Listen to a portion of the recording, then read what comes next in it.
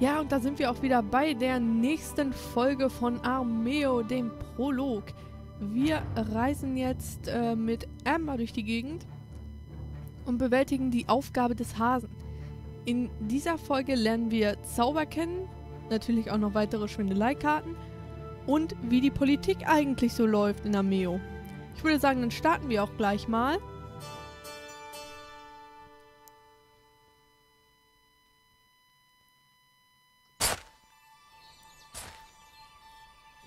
Verräter, Spione. Ich, hab, ich war zu lange nachsichtig. So vergelten es mir die Clans. Ja, Clane. Das heißt natürlich Clans. So vergelten es mir die Clans, die ich vereint habe. Ihr zwingt mich, drastische Maßnahmen zu ergreifen.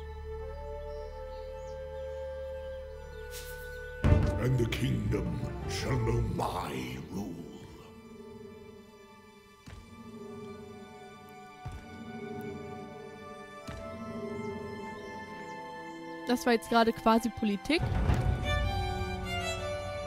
Funktioniert dann gleich im eigentlichen Sinne aber noch ein bisschen anders.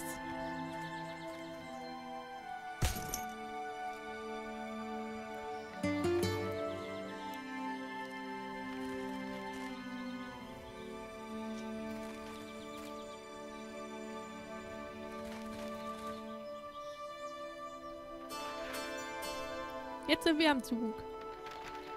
Und wieder ein Brief. Lady Amber, wir grüßen euch, Erkunderin, und wünschen euch wohl auf euren Reisen. Schweren Herzens bringen wir entsetzliche Nachrichten. Der König ver äh, versch verschmäht, ja, verschmäht den Rat des Hasenclans. Wir haben sein Gehör nicht mehr und das Reich leidet darunter. Wir bitten euch, die, wir bitten euch, die in ganz Armeo legendäre, euer Ansehen zu festigen und das Vertrauen des Königs wiederzuerlangen. Wir können diese Situation immer noch beruhigen, bevor sie sich zuspitzt. Ich weiß, dass ihr unbedingt auf Schatzsuche gehen wolltet, aber es scheint, als ob diese Pläne warten müssten. Aber vielleicht haben wir Zeit, das eine oder andere Verlies zu suchen. Das ist ja eure Spezialität. Eure Heldenkraft wird, euer Helden, äh, äh, wird in eurer Heldenansicht äh, angezeigt. Im Prinzip hat, ich weiß gar nicht, ob äh, Mercurio und äh, Tane ähm, auch sowas haben kann. Das, kann ich das nachgucken? Ja, haben sie. Also bei äh, Tane ist es der Schwertmeister. Im Kampf verbrannte Schwertkarten durchbohren die Verteidigung des Gegners. Und bei Mercurio ist es ähm, der Schurke Stehlt ein Gold von Eigen, äh, Eigentümern der Siedlung, wenn ihr sie einnehmt. Und bei uns ist es halt der Grabräuber, höhere Chance bei Erkundung von, äh, von äh, bei Erkundungen Belohnungen zu finden. Ihr erkundet ein Verlies, indem ihr euch darauf bewegt. Verli äh, Verliese sind voll mit Gefahren und Belohnungen. Wir werden unseren Einfluss stärken, indem wir nach Schätzen und, An äh, und Anhängern suchen. Und da lernen wir den letzten Wert auf dieser Seite des, des Bildschirms kennen. Das ist euer Geist. Er ist das Maß eurer Verbundenheit mit, äh, mit den magischen Energien von Armeo. Das ist eine Aufgabe für den Geist. Das ist, glaube ich, mittlerweile klar. Ich habe es mal ein bisschen stehen lassen.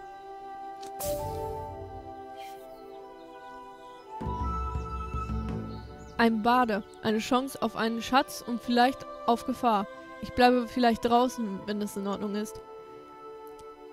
Ihr habe gehört, dass hier eine seltsame alte Magie am Werk ist. Ich da sollte ich stehen. Andererseits habt ihr selbst so eine seltsame Magie. Das ist eine Magiekarte. Wird auf den Helden gespielt, ähm, plus zwei Geist bis zum Ende des nächsten Zuges und kostet drei Magie. Das ist ein Wert, den werden wir jetzt hier unten gleich wahrscheinlich dazu bekommen. Ja, da ist er. Das ist unser Magiewert. Für den können wir dann halt diese Karten bezahlen. Und zur Abenddämmerung kriegen wir, kriegen wir unseren Magiewert aufgefüllt. Und unser Geist kontrolliert hat, wie weit wir die spielen können. Die hier geht jetzt zum Beispiel innerhalb von vier Kacheln. Ihr solltet eure Magie konzentrieren. Das wird euch bei, den, bei der bevorstehenden Aufgabe helfen. Heißt, wie soll diese Karte uns spielen. Jetzt haben wir sechs Geist. Dann stratzen wir mal los. Wahrscheinlich kriegen wir eh nur Gold.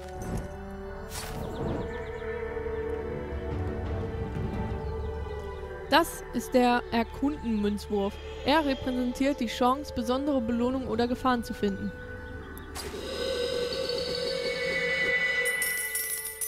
Ich hab's doch gesagt.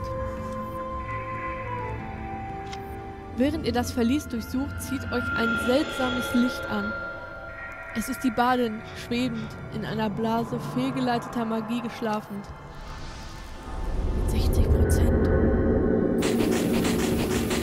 48 hätten wir es wahrscheinlich nicht geschafft. Ein schneller Wink mit der Hand und das, Leu äh, und das Leuchten erlischt. Die Badin äh, fällt und schlägt äh, mit einem lauten, dumpfen Geräusch auf dem Boden auf. Sie wacht schnell auf, ja, das glaube ich. Und wir bekommen die Badenkarte. Der Bade ist logischerweise rekrutierbar, das kostet wieder mal nichts. Plus eins ansehen, wenn ihr einer Gefahr erfolgreich entkommt.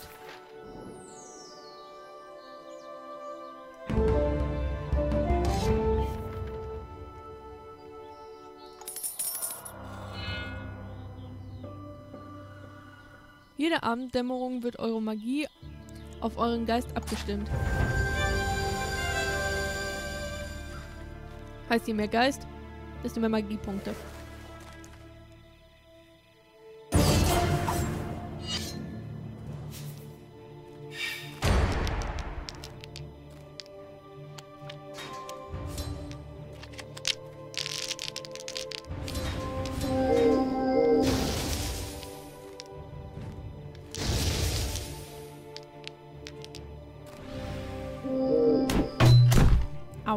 Wirklich. Oh, ein Overkill. Er hat seinen Knappen geopfert.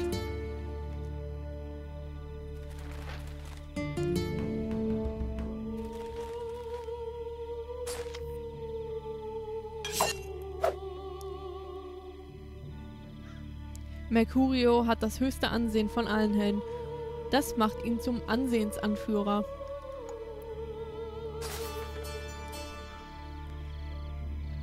Wenn ihr euch wieder Gehör beim König verschaffen wollt, müsst ihr Ansehen erlangen. Ich kenne einige Wege, die, eu- die eurem Namen zum... Äh, die... Ich kenne einige Wege, wie ihr euren Namen zum Gespräch machen könnt.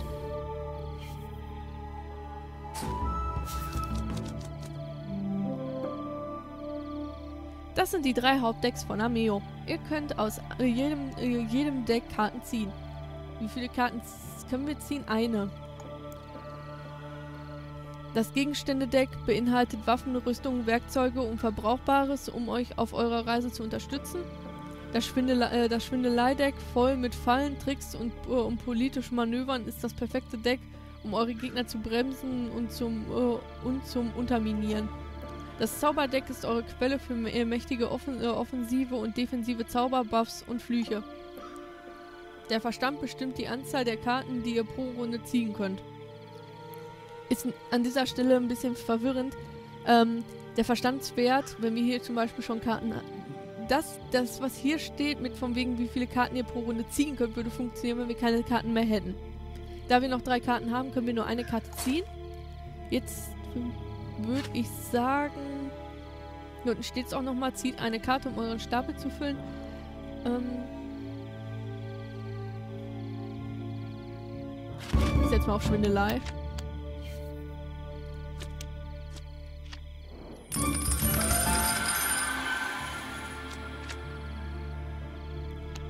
Können noch eine Siedlung erobern.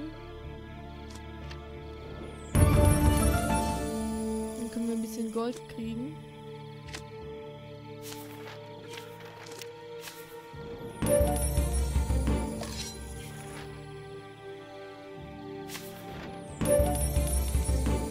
So, und dann rüsten wir uns noch aus.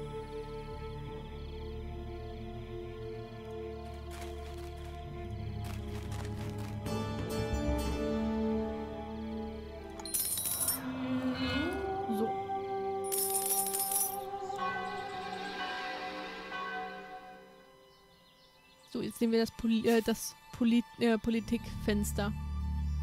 Mal was wählt er? Verflucht, schaut! Mercurio hat des Königs Gehör. Als Ansehensanführer kann er mitbestimmen, welche Gesetze der König durchsetzt.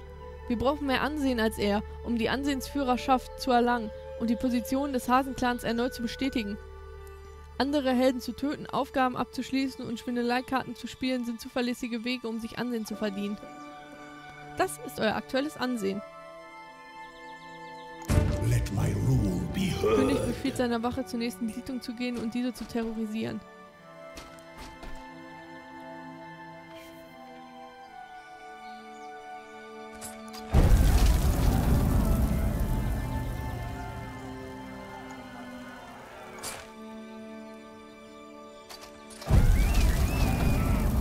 Das hätte ich jetzt gerade vielleicht vorlesen sollen. Also terrorisierte Siedlungen, ähm, hat man gerade gesehen, verlieren äh, quasi ihre Zugehörigkeit.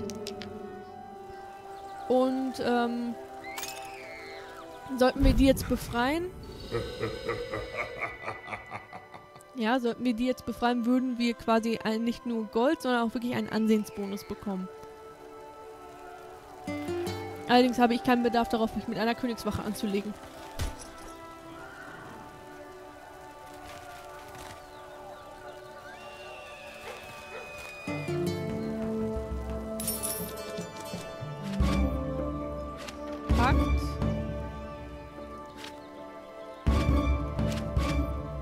Da ist die Karte, die ich wollte.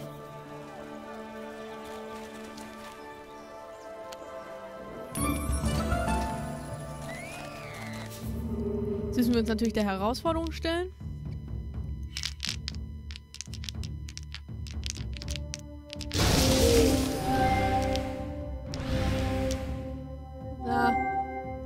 Lösen wir aus, aber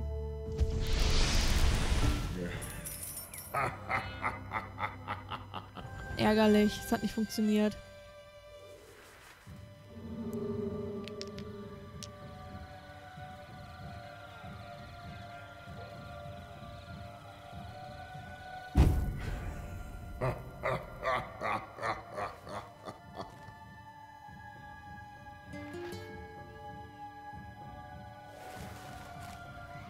Er greift mich jetzt an.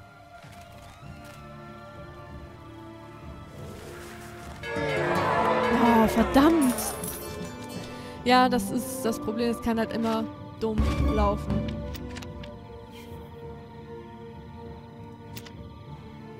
Hat noch drei Gesundheit.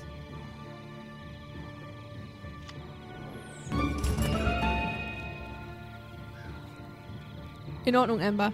Jetzt, da ihr die Ansehensanführerin seid, müsst ihr es nur noch bis, zu, äh, bis zur nächsten Morgendämmerung bleiben.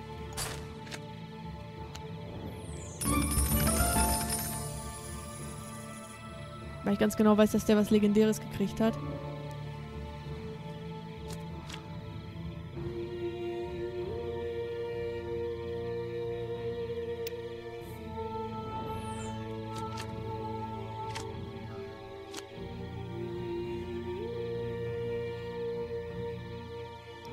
Könnten wir theoretisch auch noch spielen. Wo ist Tane?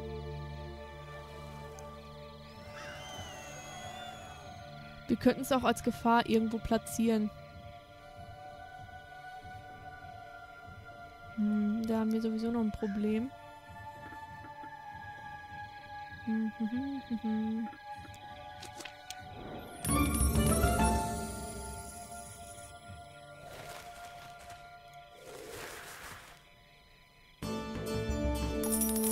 So.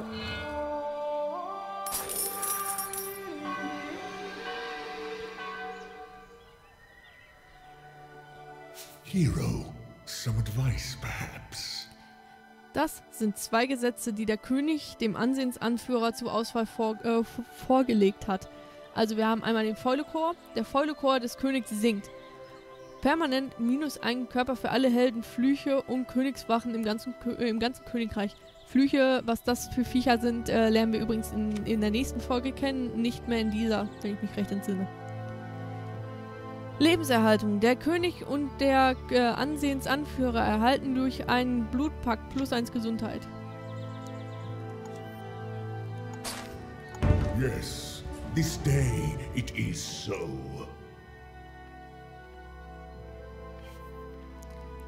Das kann nicht derselbe weise König sein, der die Clans vereint und eine Generation lang friedlich regiert hat. Ich hätte nie gedacht, ich würde diesen Tag erleben. Es gibt nichts Schlimmeres als Wahnsinn. Wildnis, rette uns vor dem König.